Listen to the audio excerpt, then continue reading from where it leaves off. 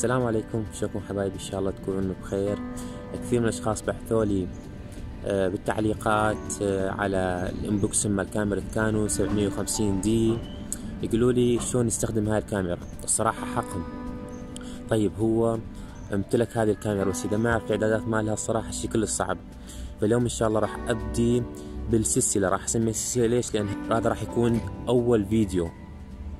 راح أتكلم به عن الأمور الأساسية في هذا الفيديو ومن ثم راح ننتقل على كيفية تصوير البورتري اللي هو تصوير الأشخاص وتصوير ال landscape آه، اللي هو تصوير شلون نقول تصوير المناظر الطبيعية اللي بها بحار بها جبال وكيفية تصوير ال cityscape اللي هي المدن.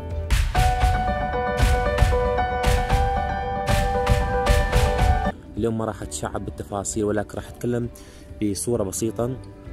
بالبداية قبل كل شيء أول شيء راح أتكلم لكم عن الصيغ اللي هي صراحة مسويها لغة عربية حتى الكل آه، كل الأشخاص آه، يعرفون آه، إيش عاد أشرح ويكون الشرح بصيغة سهلة. من أهم الأشياء قبل ما تلتقط أي صورة أول شيء جودة الصورة. عندنا هنا عندنا هنا صيغتين أساسيتين. هي صيغة ال JPEG وصيغة ال RAW.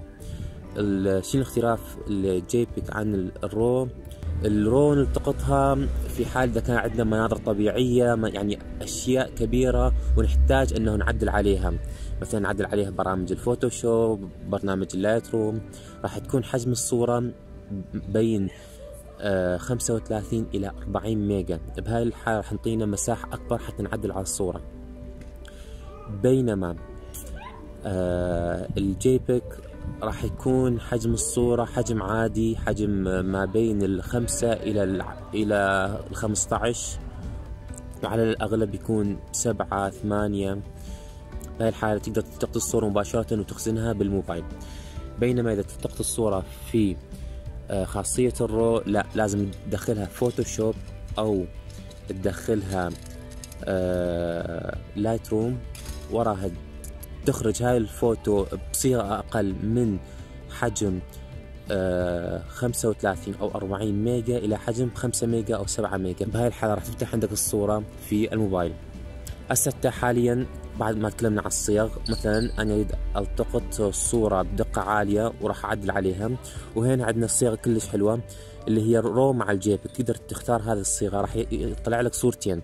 صورة تقدر مباشرة تخزنها بالجوال وتسوي لها share على الفيسبوك أو الإنستغرام. وصيغه ثانية ب مثلا الصيغه الثانية راح يكون حجمها كبير. حدود ال 30 إلى 40 ميجا تقدر تعدل عليها على برامج ال Photoshop. حاليا ما راح أشرح إلا بس على آه، خيار واحد. تشوفون هون كثير خيارات. من كل هاي الخيارات كله تجمعها بهاي خيار ال M اللي هي اللي نقدر نقول ال manual اللي أنت تضبط الإعدادات به ما راح آه، أعلمكم عن هاي الأمور لأن هاي ما راح تعلمون عليها راح تشوفوها سهلة وراح دائما تستخدموها. مثلا عندنا هنا تشغيل الفلاش تعطيل الفلاش آه، تصوير الأشخاص مناظر طبيعية تصوير الورود آه، تصوير الأشخاص تصوير مثلا الأشخاص السريعين أو تصوير السيارات أو أي شخص يمشي بسرعة معينة. نجي على ال M اللي هي ال manual. آه هذا ال manual راح كل شيء راح نتحكم به بإيدنا.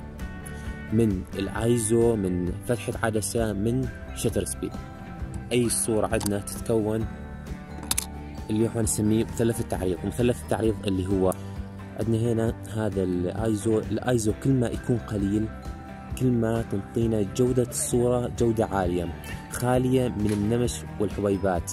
يعني حبيبات صغيرة داخل الصورة منو اللي يشوف؟ اللي يشوف فقط الأشخاص اللي يعملون على برامج ال Photoshop على برامج ال Lightroom بالنسبة لهم تشكل آه إشكال كبير. عندنا هنا خيار فتحة العدسة. راح أشوفكم شيء الغريب في فتحة العدسة. كل ما يصغر الرقم كل ما تكون فتحة عدسة كبيرة وكل ما يكبر الرقم راح تكون فتحة عدسة صغيرة وبالتالي راح تشوفون إنه الضوء عيقل.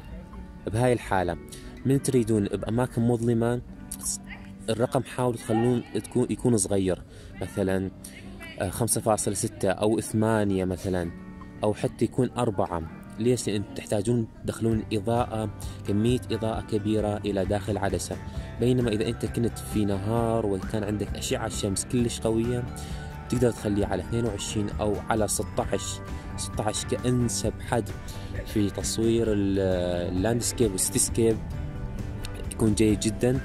أما أنت أنت حسب ما تريد حسب ما تريد. هذا الحلو بالإختصاص بالحلو بالمانوال أنت تتحكم بكل شيء باعدادات الكاميرا. طيب حاليا راح أتكلم لكم عن الشتر.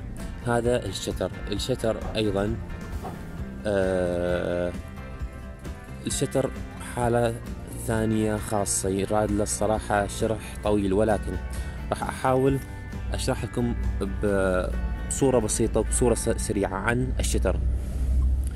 إذا تريد تصور أشخاص حاول تخليه ما بين الميتين الميتين والميتين وخمسين والثلاثمية. بين الميتين والثلاثمية يكون جيد جدا في تصوير الأشخاص. ليش؟ لأن في حال إذا الشخص المقابلك تحرك أي حركة أنت ما راح تبين عندك هاي الحركة. ليش؟ لأنك راح يكون عندك الشتر سريع.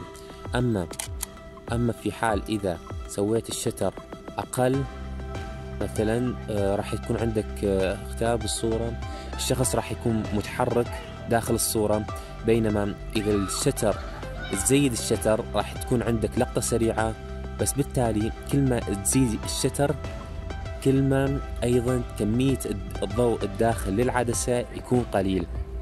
يعني لاحظوا معي عندنا إيه هنا؟ شوفوا شوفوا الشتر كل ما يزيد كل ما الصورة لاحظوا. كل ما الصورة تكون غامقة. طيب أقلل سرعة الشتر. لاحظوا لاحظوا 250 لاحظوا الصورة؟ راح آخذ أيضا بسرعة shutter آه، مثلا نقول ثلاثين per second راح أشوفكم الفرق. هذه أخذناها بسرعة shutter عالية. بالتالي آه، دخلنا إضاءة قليلة إضاءة قليلة. أما عندنا هنا آه، خليناه على ال 250 تلاحظون الإضاءة كلش روعة. أما هنا خليناها آه 30 حسب ما أذكر 30 per second شوفوا الإضاءة كلش قوية. ليش؟ لأن دخل كمية ضوء إلى ال sensor آه داخل كاميرا كمية عالية. حاليا أهم شغلة عرفنا الآيزو وعرفنا فتحة العدس وعرفنا shutter speed هذولا نسميهم مثلث التعريض. أهم ثلاث خطوات موجودين بالصورة. إلى هنا راح ينتهي الشرح مالنا اليوم لأن هذه أهم الأمور الأساسية اللي لازم تتعلموها وما راح أطول كثير بالشرح. راح أريد أنه يكون آه، أول فيديو فيديو بسيط. حاليا بالمكان اللي إحنا جالسين بها راح أخلي إعدادات معينة وراح نلتقط صورة. الآيزو 800 وعندنا فتحة العدسة خمسة فاصل ستة وعندنا شتر سبيد اللي هو آه، ميتين. راح نشوف الصورة.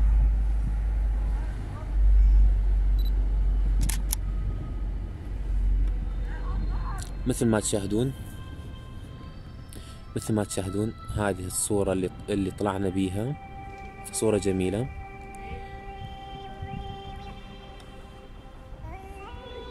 هذه هي الصورة. طيب حبايبي أتمنى أن تكونون استفاديتوا من هذا الفيديو وإن شاء الله أشوفكم فيديو قادم. آه راح أتكلم لكم عن أمور ثانية ولكن هذه الأمور حاليا الأساسية اللي لازم تكونون اللي لازم الكل يعرف بيها. تحياتي لكم. وأي شيء تحبون اكتبوا لي جوا بالتعليقات مال هذا الفيديو. آه أنواع التصوير أنواع التصوير. و بعض الإعدادات إذا كان عندكم إشكال بفتحة العدسة أو بالآيزو أو بال shutter speed إذا كان عندكم أي إشكال اكتبوا لي بالتعليقات. وإن شاء الله بالفيديو القادم راح أجاوب على كل استفساراتكم. أتمنى أن الكل استفادوا من هذا الفيديو. تحياتي لكم. أحبكم أموت عليكم. في أمان الله. طبعا هسه يلا خلص المونتاج مال الفيديو. وردت أنزله بس وصلني أحد الأسئلة من وحدة من المتابعات وهي آمنة خالد قالت لي شلون أوقف اللمس مع الكاميرا؟ مع كاميرا كانون 750 دي. شوف يمه أه بكل بساطة إذا عندك اللمس مال التصوير عندنا هنا هذه الأون والأوف عندنا هاي الدقمة اللي هي إغلاق اللمس اللي إنه آخذ صورة. هاي أون وأوف طيب؟ هاي بس تفيدنا إنه ما بعد أقدر إنه أخذ صورة بس اللمس شغال. أكو طريقة ثانية إنه اوقف اللمس آه عن طريق ندخل على الخيارات. آه ثالث خيار اللي هو التحكم باللمس. التحكم باللمس. نفوت ونسوي له تعطيل. وبهاي الحالة ما راح ندوس على الشاشة ما راح يكون يشتغل اللمس ماشي؟ اللمس كله راح يتعطل. أتمنى إن تكون يكون الفيديو واضح. يا امينه خالد. وراح أربط هذا الفيديو من ضمن هذاك الفيديو ونشوف شو راح يطلع إن شاء الله. تحياتي لكم.